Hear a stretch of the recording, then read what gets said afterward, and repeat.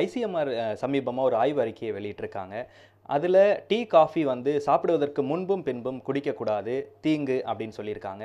Tea coffee சாப்பிடுவதற்கு முன்பும் பின்பும் குடிக்கும் பொழுது என்ன மாதிரியான பிரச்சனைகள் ஏற்படுது நல்ல ஒரு பிக் மீல் சாப்பிட்டு முடிச்சுட்டு ஒரு கப் டீ இல்லை காஃபி குடித்தாதான் ஒரு ஜீரணமாகிறது அப்படின்னு சிலருக்கு ஒரு எண்ணம். ஆனால் அதில் ஒரு சிறு குறைபாடு இருக்குது அது என்னென்னா யூஸ்வலாக நம்ம டீ காஃபியை கஃபீனோட ரிலேட் பண்ணுவோம். ஆனால் அதில் டேனின் கண்டென்ட்டும் இருக்குது அந்த டேனின் கண்டென்ட் அந்த கெமிக்கல் சப்ஸ்டன்ஸ் என்ன பண்ணுன்னா நம்ம சாப்பிட்ற சாப்பாட்டில் இருக்க அயன் சத்தை வந்து அன்அவைலபிள் ஆக்கிடும் ஸோ நம்ம டீ காஃபி சாப்பிட்றதுக்கு முன்னாடியோ பின்னாடியோ குடிக்கக்கூடாது. ஸோ அது என்ன பண்ணும்? டோட்டலாக அயன் இன்டேக் அப்சார்ப்ஷன் ஆஃப் அயனை வந்து ஸ்டாப் பண்ணிடும் அதுக்காக தான் இதை அவாய்ட் பண்ண சொல்லி ஐசிஎம்ஆர் கைட்லைன்ஸில் போட்டிருக்காங்க. காலை எழுந்ததுமே வெறும் வயிற்றில் டீ காஃபி குடிக்கிறாங்க. அதன் பிறகு மதியம் மாலை இரவு தூங்குவதற்கு முன்பாகன்னு சொல்லிட்டு பல தருணங்களில் டீ காஃபி குடிக்கக்கூடிய அந்த பழக்கம் இருந்துகிட்டே இருக்குது இதனால் என்ன மாதிரியான உடல் பிரச்சனைகள் ஏற்படுது மேம் ஏன் நம்ம குடிக்கிறோம்னு முதல்ல நம்ம அண்டர்ஸ்டாண்ட் பண்ணிப்போம். இட் இஸ் அ ஸ்டிமுலென்ட்னு சொல்லுவோம்.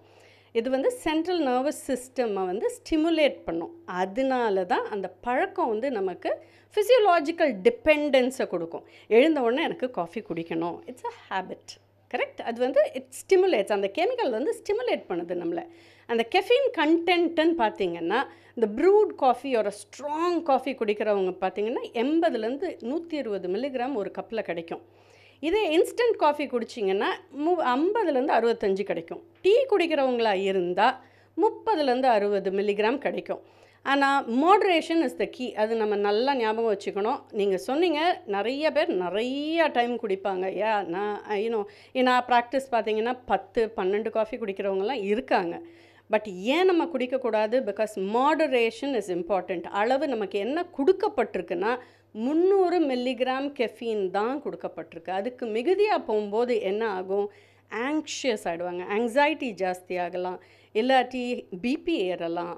யூ பிகம் வெரி இரிட்டபிள் அது ஒரு டிபெண்டன்சி உருவாக்கிருச்சுன்னா அந்த டைமுக்கு நம்ம குடிக்கலைன்னா யூ பிகம் வெரி இரிட்டேட்டட் இதெல்லாம் தான் சைடு எஃபெக்ட்ஸ் அண்ட் இன்வேரியபிளி நிறைய காஃபி குடித்தா என்ன ஆகும்? Without sugar not many of us drink இல்லைங்களா?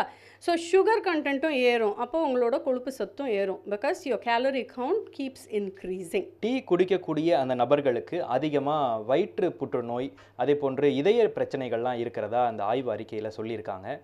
புற்றுநோய் ஏற்படுவதற்கும் இந்த இதய சார்ந்த பிரச்சனை ஏற்படுவதற்கும் இந்த டீயில் இருக்கக்கூடிய அந்த கண்டென்ட் என்ன மாதிரியான ஒரு பாதிப்பை ஏற்படுத்துது மேம் பேசிக்கலி இந்த கண்டென்ட் நம்ம பேசணும் இல்லையா? டானன்ஸோ இல்லாட்டி caffeine கண்டென்ட்டோ all these can cause acidity and அதனால் வயிற்று புற்றுநோய் வர வாய்ப்புகள் உண்டு. ஆனால் அளவுக்கு மீறினா மட்டும்தான். அதனால் காஃபி குடித்தாலே வந்துருமான்னு கேட்டிங்கன்னா அப்படி கிடையாது. அந்த பயம் நமக்கு தேவையில்லை.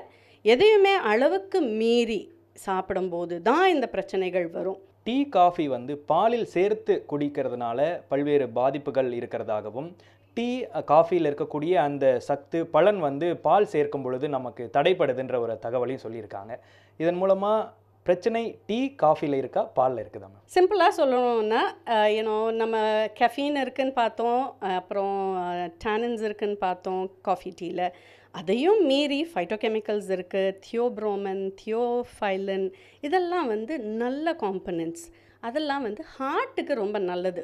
இட் ரிலாக்ஸஸ் யோர் ஹார்ட் அதனால தான் பிளாக் காஃபி இல்லை பிளாக் டீ இல்லை க்ரீன் டீ குடிக்கணும்னு சொல்கிறாங்க அதை பால் சேர்க்கும் போது என்ன ஆகுதுன்னா அதோட தன்மை குறைஞ்சு போயிடுது அதனால தான் பால் இல்லாமல் குடிக்கணும்னு அட்வைஸ் பண்ணுறாங்க ஸோ அதை மாதிரி பண்ணும்போது your muscles are arteries will relax heart arteries relax பண்ணும்போது யுவர் ஹார்ட் ஃபங்க்ஷனிங் இம்ப்ரூவ்ஸ் அதுக்காக தான் அப்படி அட்வைஸ் பண்ணுறது பால் எடுத்துக்கிறவங்க காஃபி டீ குடிக்காத மக்கள் இருக்காங்க. பால் எடுத்துக்கிறீங்கன்னா எடுத்த பாலாக எடுத்துக்கோங்க. மேக்ஸிமம் ரெண்டு கிளாஸ் பால். அது பாலாக எடுத்துக்கிட்டாலும் சரி இல்லாட்டி தயிர் மோர் இல்லாட்டி யூனோ பன்னீர் எந்த ஃபார்ம் ஆஃப் மில்காக இருந்தாலும் அது நானூறு எம்எல்குள்ளே இருக்க மாதிரி பார்த்துக்கோங்க. ஒரு நாளைக்கு எத்தனை காஃபி குடிக்கலாம் எந்த அளவுக்கு குடிக்கலாம் காஃபி பிரியர்களுக்கு உங்களுடைய அட்வைஸ் என்ன கண்டிப்பாக காஃபி குடிக்கலாம் கவலையே படாதீங்க. ரெண்டுலேருந்து மூணு கப் காஃபி ஒரு நாளைக்கு இட் இஸ் பெர்மிட்டட் நான் முதல்ல சொன்ன மாதிரி கெஃபீன் கண்டென்ட் மாட்ரேஷனில் இருக்கணும். Three hundred milligrams per day மூணு காஃபி குடிச்சிங்கன்னா அதுக்கு மேலே அது போகாது. காஃபியோ டீயோ ஸோ காலையில் ஒன்று மேபி ஆஃபீஸ் டைமில் ஒரு வேளை சாயந்தரம் ஒரு வேளை.